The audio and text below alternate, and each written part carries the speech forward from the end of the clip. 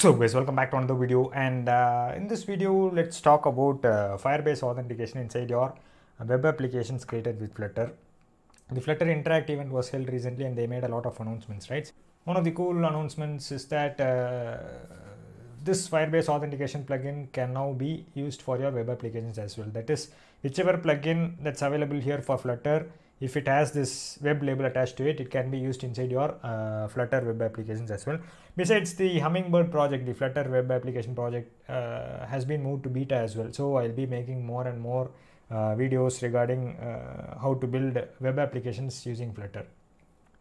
So anyway let's get started guys. Let's bring in authentication using firebase inside your uh, web applications. It's pretty much simple. I'll show you how now I have a blank app scaffolded here. I'll first install the plugins, necessary plugins. So here I'll just go ahead and add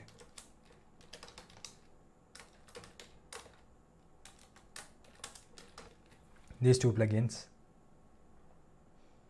Let it get get them for us. Meanwhile, I'll get back into main.dart. I'll remove all these.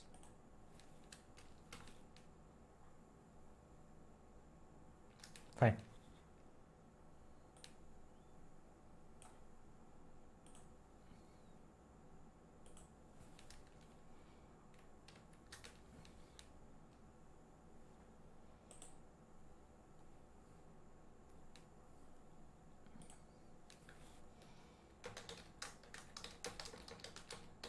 Auth service dot dart home home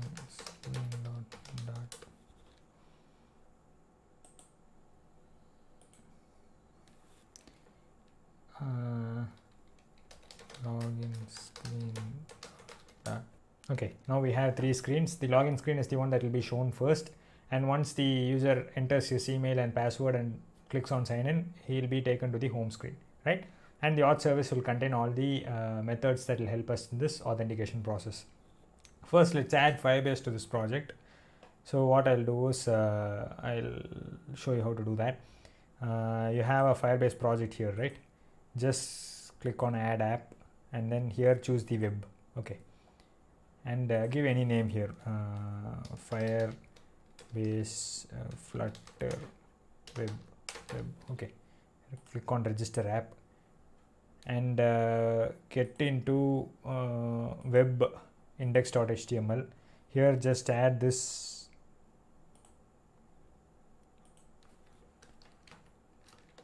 here just add these two lines of code. Okay. And we also need to add this entire script. If you had already uh, configured uh, firebase for a web application that is an application like angular application then you will obviously know how to do this guys. So the key thing is it should be above this main dot main.dart file that's it. Okay just save this. Now you have uh, firebase configured for your flutter web application. Let's go ahead and try to use authentication inside this. So first what i'll do is i'll uh, go ahead and create the login and home screens. So this will be a stateful widget. Stateful widget. And uh, here what i'll do is uh, login page.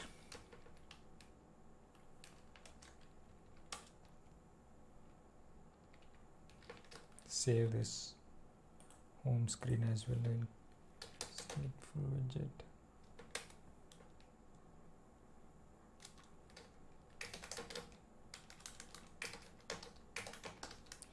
home page.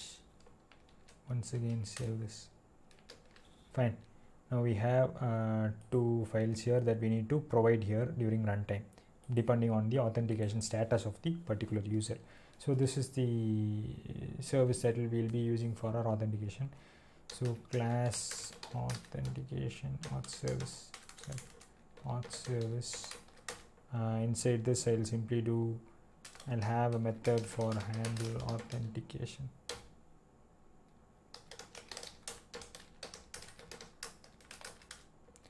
This will return a stream builder. For this we need to give a stream right? Uh, stream sorry firebase auth dot instance dot on auth change change. This will be a string and the builder function will context snapshot. If snapshot dot has data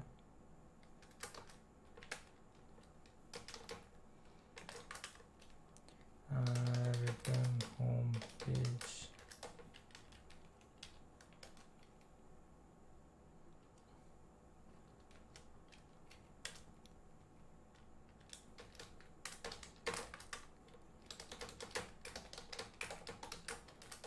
you understand all right guys. You understand what's happening here right?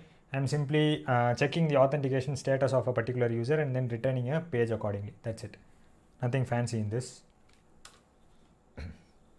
Now get back to main.dart file. Sorry i didn't save this. Sorry.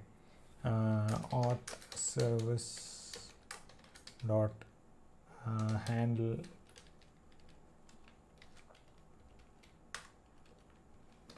Handle auth fine.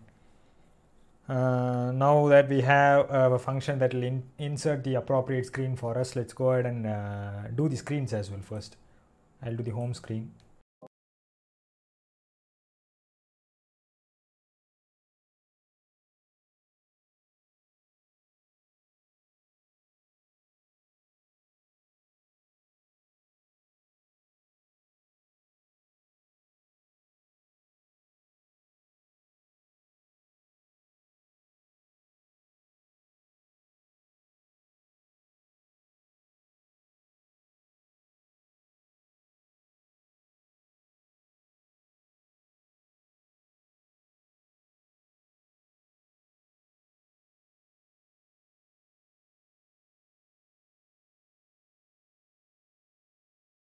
you understand what's happening here right?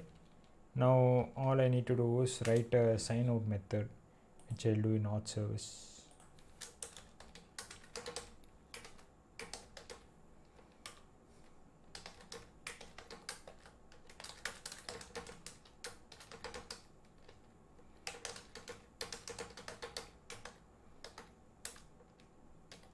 Fine.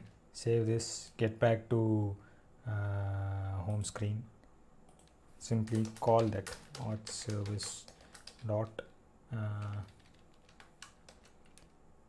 auth service dot sign out right? Sign out fine. Now we have a screen that will simply show you are logged in and it will also have a button that will help us to sign out. That's it. Nothing fancy in this guys. You understood what we are, we are what we are doing so far right?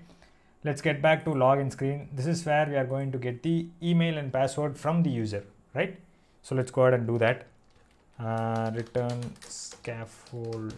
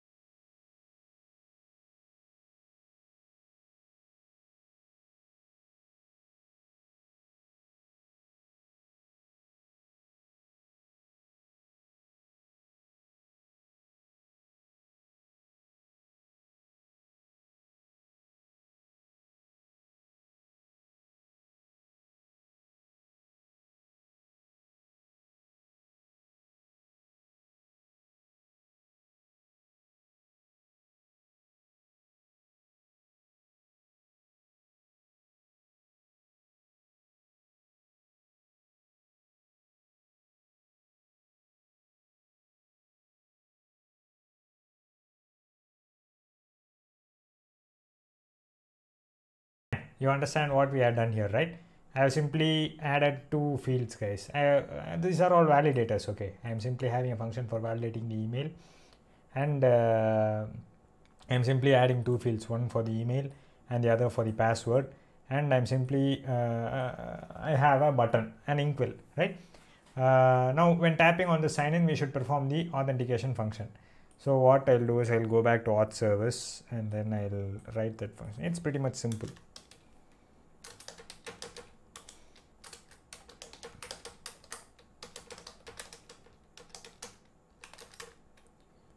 firebase auth dot instance dot sign in with uh, Uh, email and password. Email email password password. Login.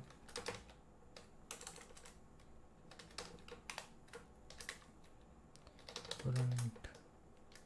Signed in dot catch error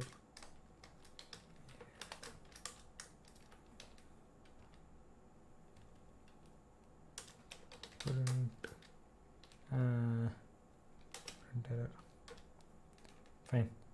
Let's just save this for now. That's it right? Uh, let's go ahead and uh, now let's go ahead and try running this. Oh we need to call this in login screen right? Sign in.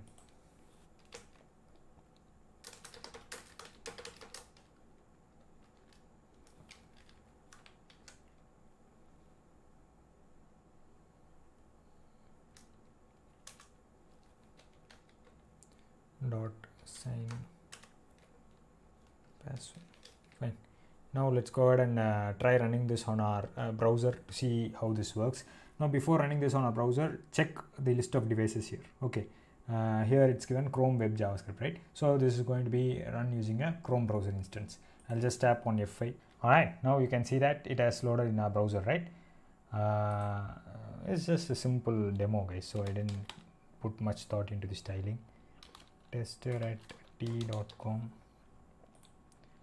and I will give in the password as well. If I just tap on sign in now not tap uh, click on sign in it automatically signed me in right?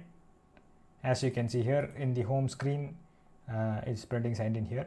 Not only that uh, in the home screen where is it?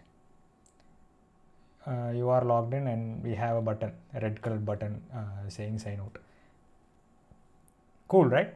Now if I just click on sign out it should automatically sign me out and show me the login screen. So yeah guys uh, this is now we have uh, done firebase authentication. Wait I'll show you. Get back into this close this. If you tap on authentication now tester at t.com signed in today. It's showing today's date right? So yeah guys uh, uh, this is how you use uh, this firebase auth plugin to authenticate inside your uh, flutter web applications. I know this was just a simple demo and it, i just showed you one method of authentication. You can do google sign in as well which i'll show you tomorrow. Uh, probably a video uh, will be uploaded on that right after this one. Uh, now that uh, uh, we authentication is done we, which means that i mean if authentication is done we can bring in user management complete user management system inside our uh, web applications as well right in uh, written using flutter. So uh, the consequent videos I, i'll show you how to start writing small web applications using flutter as well flutter and firebase as well. Uh, we'll also be seeing how to do uh, mobile applications. There is no change in that but uh, i'll start with that as well. There have been i have been unable to make videos. I, and nowadays i make videos once in every uh, 10 days or something that's because i got a lot of work guys. Uh, i got some projects that i'm working on right now and that's the reason why uh, my video uploads have been infrequent. Uh, but in the forthcoming uh, weeks i'll try to make videos on both web and uh, mobile application using flutter and firebase right? So yeah guys this is what i wanted to show you guys today. I hope you like this video. Hope this was helpful to you. If you found this helpful kindly share it with someone and help them too. If you like this video kindly the thumbs up button guys. The thumbs up button. And if you like what i'm doing on this channel and you would like to watch more cool content like this then kindly subscribe to my channel. It's free right? Just subscribe to my channel and click on the bell notifications icon so that you receive notifications each and every time i upload a new video right? So yeah guys uh, i'll talk to you guys in my next video. Bye